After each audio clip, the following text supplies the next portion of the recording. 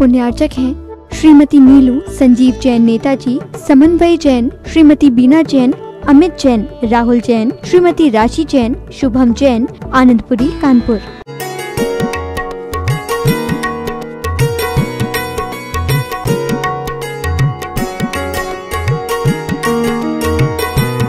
हम अपनी वाणी को अगर बहुत अच्छे ढंग से रखते हैं, सास बहुओं के झगड़े खत्म हो जाएँगे। तलाक खत्म हो जाएँगे, परिवार में अशांति खत्म हो जाएगी। अगर थोड़ी सी वाणी में हम नम्रता लेकर के आ जाएँ और थोड़ा सुनने की आदत डाल लें, कठोर वचनों को सुनने की आदत डाल लें तो सब कुछ हो जाएगा। पिता पुत्र डाइनिंग टेबल पर बैठ करके भोजन कर रहे थे और बेटे की बहू के यहाँ से पाँच किलो शुद्ध अटपैरा घी आया था। वैसे ही शांति धारा का घी चौबीस सौ रुपए किलो, पच्चीस सौ रुपए किलो है। और वो घी आया था। उनके घर में गिर गाय थी। यानी मायके से घी आया। और उस घी को गर्म करके, छान करके, देखो तुम लोग शायद, मुझे नहीं लगता कि आप लोग घी बाज़ार से लाते हैं, उसको गर्म करते हो, फिर उसको छानते हो, फिर छान करके फिर अपने उपयोग में लेते हो, शायद। मुझे तो नहीं लगता। तो तरीका उसी का वही है। चाहे अटपैरा घी क्यों ना हो, उसे कपड़े से छानना चाहिए, छन्नी से नहीं। कपड़े से छान कर पहले गर्म करें तो उसमें जो छाछ रहती है, मरी कहते हैं जिसे वो सब जल करके और फिर उसे छाने कपड़े से और कपड़े से छान करके फिर बरनी आदि में भरे। तो वो बहू ने ऐसा ही किया। मगर जब बरनी उठा रही थी तो वो स्लिप हो गई और पाँच किलो घी की कांच की बरनी फूट गई। पिता पुत्र बैठे थे, भोजन कर रहे थे। पिताजी ने कहा, देखो क्या हुआ? उन्हें कुछ नहीं, बरनी फूट गई। सॉरी सासू के हाथ से फूट गई थी बरनी बहू से नहीं, बहू तो बहुत समझदार थी, आगरा की थी। और बेटे से पिता ने कहा, देखना क्या हुआ? बोले, कुछ नहीं, मम्मी के हाथ से बरनी फूट गई। जो अभी घी आया था ससुराल से, बोले, तुझे कैसे मालूम? या बैठे बैठे कैसे? क्या तू अवधि ज्ञानी है? निमित्त ज्ञानी है? बोले, नहीं पिताजी बोले, देख करके आओ। देखने जाता है। तो बहु कांच बीन रही थी और एक कपास लेकर के घी को सोख सोख करके एक दूसरी बरनी में रख रही थी, निचो रही थी। बेटा लौट करके आया और पिताजी से कहा, पिताजी, माँ के हाथ से बरनी फूट गई है। जो पाँच किलो घी बोले, तुझे मालूम कैसे हुआ? बोले, पिताजी झंकार के बाद टंकार भी आती। अगर मेरी पत्नी के हाथ से बरनी फूटती तो झंकार के बाद एक टंकार भी आती और बड़ी देर तक आती टंकार। मगर टंकार नहीं आई, केवल झंकार आई है। मैं समझ गया कि मम्मी से फूटी है।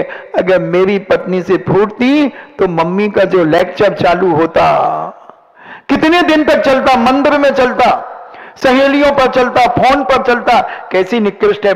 पाँच किलो घी पानी में मिला दिया फोड़ दी बन्नी, अकल है ही नहीं, बड़ी पढ़ी लिखी बनती है, और क्या क्या बड़बड़ाती तो वो टंकार टंकार घर में आग लगा देती है।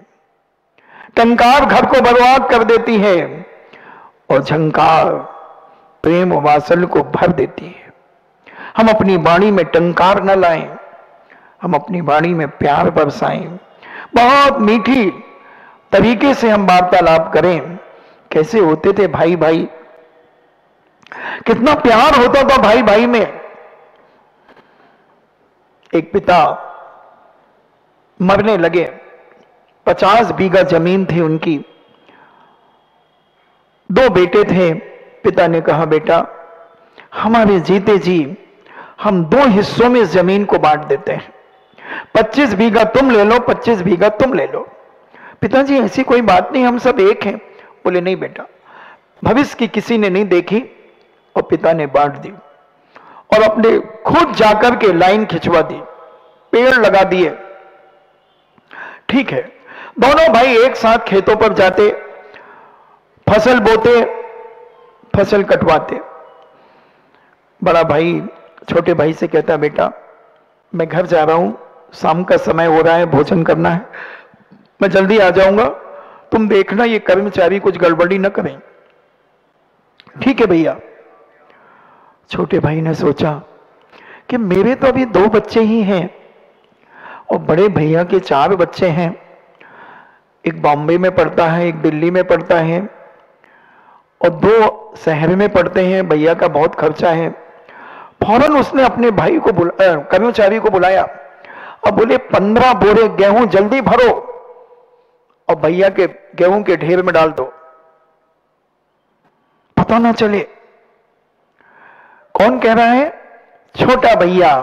क्योंकि भैया के चार बच्चे मेरे तो दो हैं और खूब खेती है और फटाफट बोरों में भर करके उस ढेर में मिला दिए पंद्रह बोरे। और छोटा भैया देखता रहा। कटाई चल रही थी, सब कुछ हो रहा था। बड़ा भैया आ गया साढ़े चार बजे। जाओ भैया, तुम भी भोजन करके आ जाओ।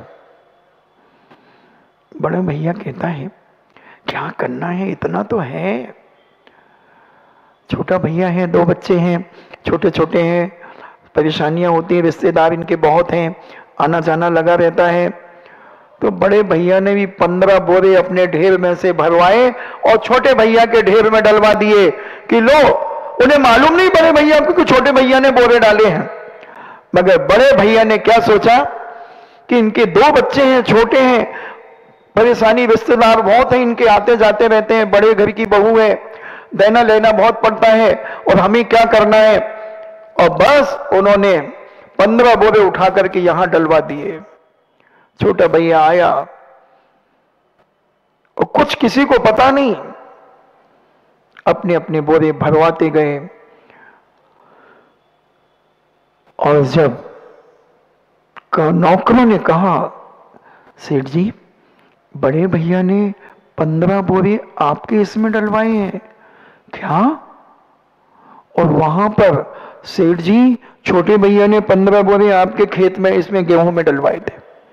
ओहो, बड़ा भैया।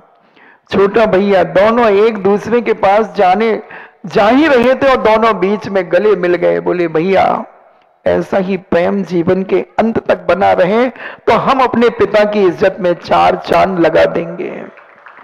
लोग कहेंगे कि हमने ऐसा पिता पाया और पिता सोचेंगे, हमने ऐसे बेटे पाए जो राम और लक्ष्मण का रूप हैं। ऐसा प्यार, ऐसी वाचनिकता, ऐसा विनय अगर हम अपने जीवन में कर लें तो बंधु हमारा मनुष्य होना सार्थक है। नहीं तो मनुष्य तो बहुत है। हमारे अंदर मानवता नहीं है। मानव बहुत है, मगर मानवता का अभाव के कारण आज हम एक दूसरे के खून के प्यासे होते चले जा रहे हम नफरत और घृणा से भरते चले जा रहे हैं। हम विनयशील न होकर अहंकार में अपने जीवन को बिताना चाह रहे हैं। बंधु कुछ नहीं है, सब यहीं पड़ा रह जाएगा। कुछ नहीं जाना साथ में। क्या लेके गए? बड़ी बड़ी हस्तियाँ आपके सामने से चली गई। बड़े बड़े योद्धा चले गए बड़े बड़े सेठ साहूकार चले गए बड़े बड़े राजा, महाराजा चले गए। कौन नहीं गया? क्या लेकर के गया? सिकंदर एक बहुत बड़ी शिक्षा देकर के गया है सारी दुनिया के लोगों को, जिनको धन का अहंकार है, बल का अहंकार है, रूप का अहंकार है। किसका अहंकार है? उन सबको एक चुनौती देकर के गया सिकंदर। सिकंदर ऐसा ही एक अहंकारी था, सारी दुनिया को अपनी मुट्ठी में बांधना चाहता था। सब कुछ अपना बनाना चाहता था कि सब मेरे अंडर में रहे। उसकी वाणी में भी बड़ी कर्कशता थी, बड़ा अहंकार था। मगर सिकंदर को जब एक गुरु का सानिध्य मिला, दिगंबर गुरु का तब उनसे भी वो अहंकार में कहता है, चलो, तलवार की नोक पर ले जाना चाहता था। सिकंदर की तलवार का नाम से सारे लोग कांपते थे। मगर जब पूज्यभर के सामने तलवार लेकर के गया तो पूज्यभर कहते, क्या पुदगल पुदगल को डरवाना चाहता है? क्या करेगी ये तलवार पुद्गल को ही काटेगी? मैं पुद्गल नहीं हूँ। मैं एक चेतन स्वरूप आत्म तत्व हूँ। तुम क्या मुझे मार सकते हो? सिकंदर चौंक गया। और उनकी वाणी में बड़ी नम्रता थी। बड़ा आत्मी भाव था। और कहा, सिकंदर, थोड़ा सा नीचे उतरो। थोड़े अहंकार से नीचे उतरो। तुम्हारी जीवन मात्र सात दिन का शेष है, सिकंदर। अभी भी तुम अपने जीवन को बदल सकते हो। सारे पापों को तुम धो सकते हो। तुमने जो अत्याचार और अनीति और लूटपाट करके दीनहीन राजाओं को झुका करके उनकी धन, दौलत, संपत्ति तुमने अपने कब्जे में की है। मैं पूछना चाहता हूँ सिकंदर क्या तुम अपने साथ ले जाओगे? तुमने जो कुछ किया है, उसमें से तुम क्या लेकर के जा सकते हो? मुझे बताओ। सिकंदर नतमस्तक हो गया। चरणों में गिर गया और कहा, आप जैसे गुरु की मुझे आवश्यकता है। और मेरे गुरु ने भी अरस्तु ने कहा था कि भारत से एक सेंट लेकर के आना। आप चलें। पूजभर ने कहा कि मैं कैसे जाऊँगा? गुरु ने आज्ञा नहीं दी, मगर पूजभर ने देखा कि इसके जीवन को सुधारना बहुत ज़रूरी है। थोड़ा सा दोष लगेगा तो लगेगा, मगर इस आदमी को मैं अब आदमी नहीं रहने दूँगा, इसे एक साधु के रूप में दिखाऊँगा। साधु सा बनाऊँगा इसे, और सारी दुनिया इससे सबक लेगी। सिकंदर को प्रतिदिन उन्होंने संबोधन दिया, और सिकंदर जब मरने लगा तो सिकंदर ने कहा कि मेरा जनाजा, मेरे परिवार के कोई भी व्यक्ति नहीं उठाएँगे, कोई रिश्तेदार नहीं उठाएगा। कोई राजकुमार नहीं उठाएगा, कोई राजा महाराजा नहीं उठाएँगे, न मेरे अधीनस्थ राजा आएँगे आएँगे मगर मेरे जनाजे को कोई नहीं उठाएगा। मेरे जनाजे में कंधा लगाएँगे बड़े बड़े जोशाचार, तांत्रिक, मांत्रिक, जोशाचार, नीम, हकीम, वैद्य, सारे लोग मेरे जनाजे को उठाएँगे और मेरे दोनों हाथ इस जनाजे से बाहर निकाल करके रखना। जनाजा मीन्स अर्थी। गबारा भी कहते उससे बाहर निकालेंगे। उससे बाहर निकाल करके सारी दुनिया को बताएँगे। सिकंदर गया जब दुनिया से सभी हाली बहाली थे।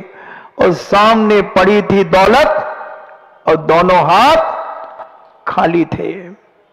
ये दिखाना चाहूँगा मैं। प्रेम कहाँ खत्म होता है? रिश्ता कहाँ खत्म होता है? अहंकार कहाँ से उत्पन्न होता है? ये सारी दुनिया को मैं दिखाऊँगा। ये पैसा, एक अहंकार का बीजारोपण है। विनयशीलता का विनाशक है। और सिकंदर ने यह करके दिखाया। सारी दुनिया को बताया कि सिकंदर गया जब दुनिया से। सभी हाली बहाली थे। सामने पड़ी थी दौलत। और दोनों हाथ खाली थे। क्या ले गया बंधुओं हम भी सब कुछ यहीं छोड़ जाएँगे। सब कुछ छोड़ जाएँगे। बहुत सुनहरा मौका है। बीतने वाली घड़ी को कौन लौटा पाएगा? इस धरा पर, इस धरा का सब धरा रह जाएगा। ज़िंदगी भर का कमाया साथ में क्या जाएगा? यह सुअवसर खो दिया तो अंत में पछताएगा। ऐसी बहुत सारी घटनाएँ बंधु में बताऊँगा समय समय पर कि कैसे कैसे लोगों के मन विचलित हुए और क्या धमाका हुआ और कितना ले गए। अगर उसका 10 परसेंट भी दे जाते तो पुण्य। ऐसा बढ़ता कि जिसका कोई हिसाब नहीं। अभी एक स्थान पर तत्वासु चल रहा था। चालीस लोगों की फ्लांग स्कॉट आई सर्वे करने के लिए आती है। पचास तीन दिन वो साहब रुकी, सौ डेढ़ सौ दुकानों पर उन्होंने सर्वे किया। और एक दुकान पर पट्टी चढ़े और नीचे उतर जाए, वो नहीं नहीं, इसको बाद में देखेंगे। वहाँ पीछे दुकान के पीछे बिटिया तत्वाल सूत लिख रही थी। वो तीन बार, तीनों दिन चढ़े उस पर, बोले, नहीं, इसको बाद में देखेंगे, इसको बाद में देखेंगे। और उसके यहाँ गए नहीं, और चले गए। तत्वार सूत का आभा। उसका ओरा इतना बड़ा है बंधुओं, पुण्य का ओरा इतना बड़ा होता है, इसलिए कुछ ना कुछ अपनी शक्तियों को न छुपाते हुए लोकोदय का ध्यान रख करके आगे बढ़े, तभी जीवन का आनंद होगा बंधुओं। बहुत कमाया, बहुत गमाया। मैं तो कहता हूँ, हर व्यक्ति 10 परसेंट से ज़्यादा नहीं दान करता, अपनी कमाई का। अगर कोई 10 लाख का आसामी है तो एक लाख से ज़्यादा दान नहीं करेगा। हम तो कहते हैं, इतिहास देख लो जितना तुमने जब से कमाना शुरू किया है। और आज तक में एक लाइन खींच करके देख लो, दान कितना दिया है और तुमने अपना लौकिक खर्च कितना किया है। हर व्यक्ति सोच ले, अपनी कमाई से कितना भी हो, चाहे वो कोई भी हो, दुनिया का दान भी भारत की बात कर रहा हूँ, विदेशों की नहीं। भारत में 10 परसेंट से ज़्यादा किसी का 5 परसेंट, किसी का 2 परसेंट, किसी का 1 परसेंट दस से ज़्यादा निकलेगा कोई बिरला हो तो पंद्रह निकल जाए तो बात अलग इससे पचासी रुपया तुमने अपने लिए खर्च किए और पंद्रह रुपया तुमने देव सास गुरु के लिए खर्च किए। और क्या मांगते हो भगवान से? क्या लंबी लिस्ट लेकर के आते हो? कितनी लंबी लिस्ट लेकर के आते हो भगवान के पास? एक रुपए में से पंद्रह पैसे भगवान के पचासी पैसे तुम्हारे? क्या होगा? एक बात और गले तक आ गई, सुना देता हूँ। एक व्यक्ति का मकान नहीं बिक रहा था, बीस लाख रुपए का मकान वो बेचना चाहता था। बहुत दुखी था कि मेरा मकान बिक जाए, मेरा मकान बिक जाए। वो भगवान के पास गया, बोले, भगवान, अगर मेरा मकान बिक गया तो आधा तुम्हारा, आधा हमारा। ठीक है। और वो मंदिर से निकला और एक दलाल आया, बोले, भाई साहब, मकान हमने सुना, आप बेच रहे हैं? बोले हाँ कितने का है? बोले, बीस लाख रुपए का। वो कहता, अरे, मैं अभी तो अर्जी लगा करके आया और एक मिनट में ग्राहक भेज दिया। बोले, भाई साहब, सुनो, मकान तो बीस लाख में है, मगर हमारे यहाँ एक बिल्ली रहती है। तो उन्नीस लाख निन्यानवे हज़ार नौ सौ पचास रुपए की तो बिल्ली है। उसकी कीमत है और पचास रुपए का मकान है।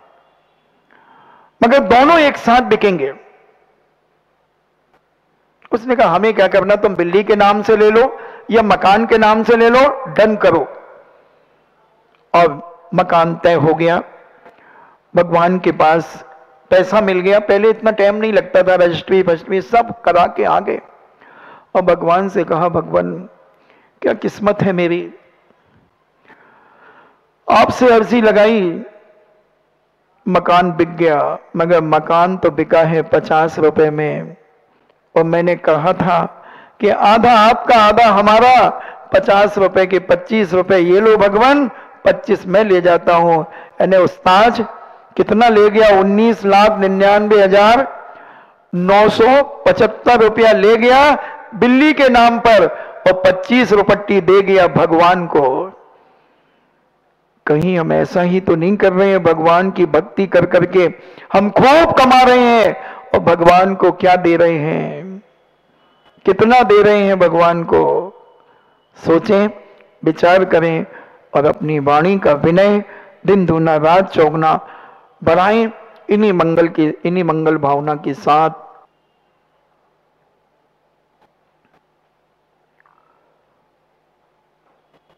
परम पूजनी द्वादशांग जिनवाणी माता की।